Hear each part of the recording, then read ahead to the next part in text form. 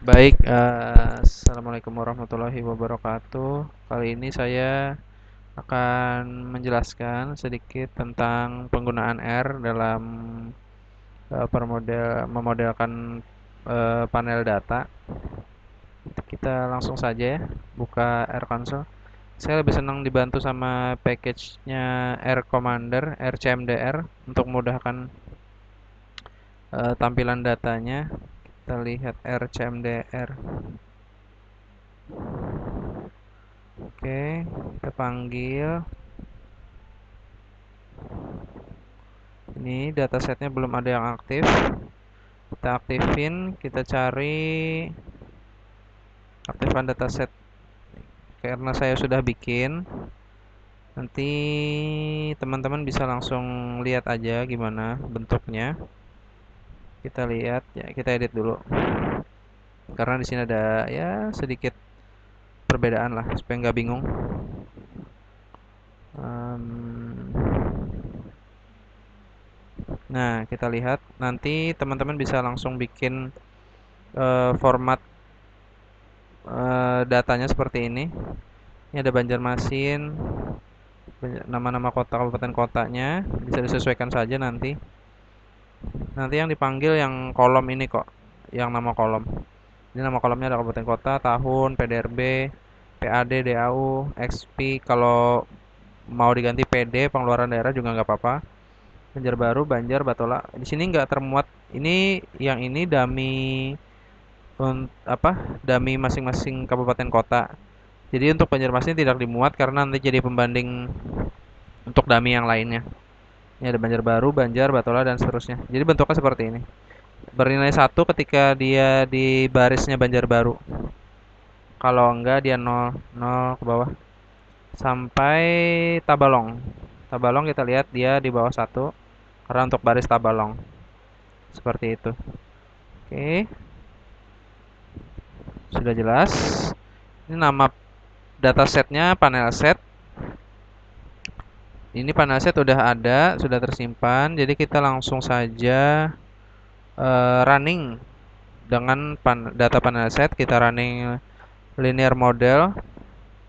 Sebentar saya buka script saya. Um,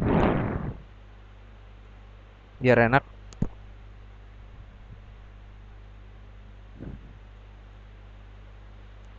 Saya edit sebentar biar nggak bingung nantinya.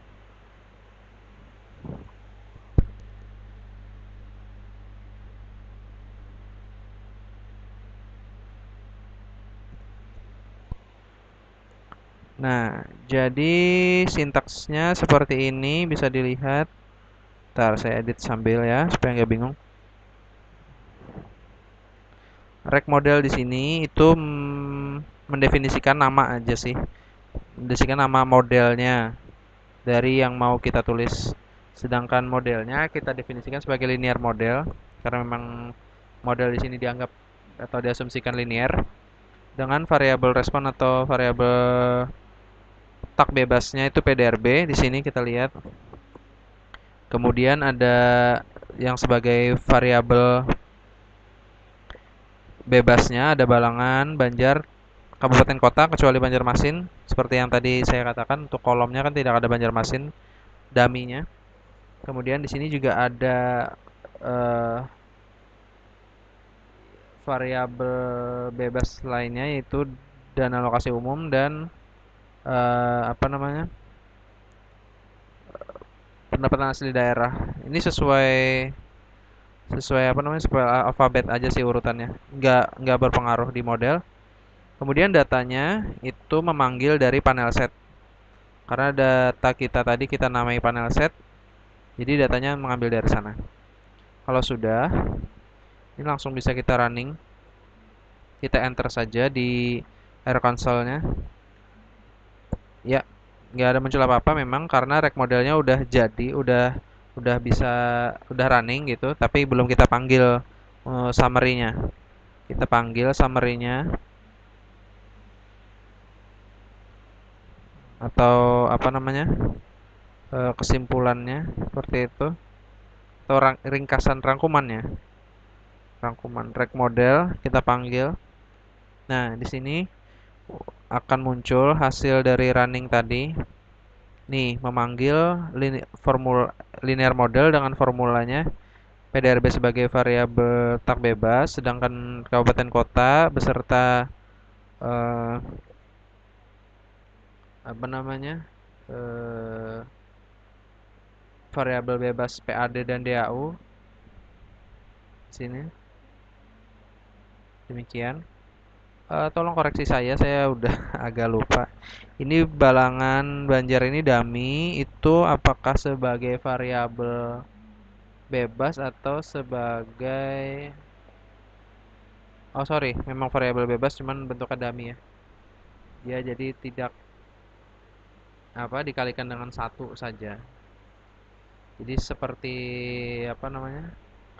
Uh, apa namanya koefisiennya satu gitu. Jadi dikalikan dengan satu. Nah di sini uh, terlihat hasil koefisiennya interceptnya. Ini yang saya katakan jadi pembanding nanti. Jadi untuk apa namanya untuk sebentar saya buka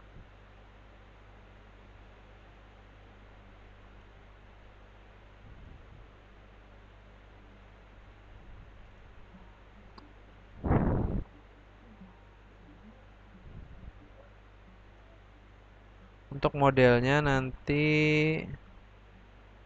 interceptnya itu pembandingnya itu yang 9,5 itu.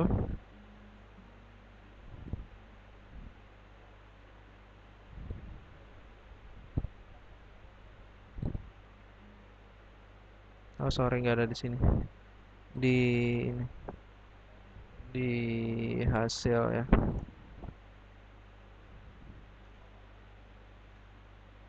Nah ini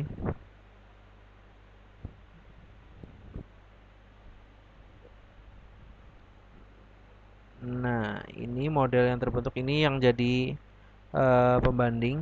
Jadi ketika yang ditanya model uh, apa namanya model untuk kota Banjarmasin, maka uh, didapatkan yang ini Y Y Banjarmasinnya itu 9 ini 9,509 pang, E pangkat 6 kemudian yang lainnya 0 karena untuk Banjarmasin sampai pada PAD dan DAU nya seperti itu. Ini kita lihat DAU nya 7,971 E pangkat minus 3 di sini dibulatkan sepertinya.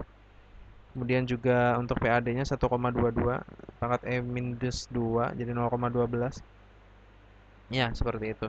Jadi ketika untuk apa namanya kalau ditanya model Banjarbaru Banjarbaru maka D2-nya aktif.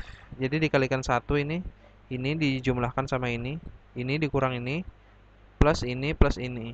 Plus PAD dikalikan X1 plus DAU kalikan X2 nya seperti itu.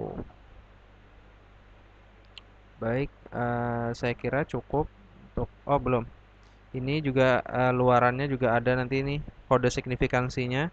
Jadi semuanya signifikan. Kemudian ada informasi lagi R square nya ada informasi adjusted R square uh, F statistiknya juga muncul. Ini informasi tentang derajat kebebasan 50 juga ada p value nya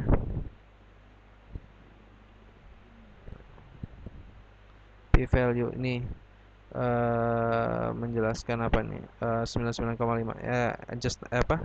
R square-nya. Determinasi ya koefisien determinasi. Sini.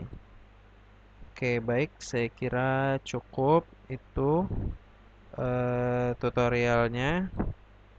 Kalau ada yang bingung silahkan ditanyakan langsung sama saya. Demikian. Assalamualaikum warahmatullahi wabarakatuh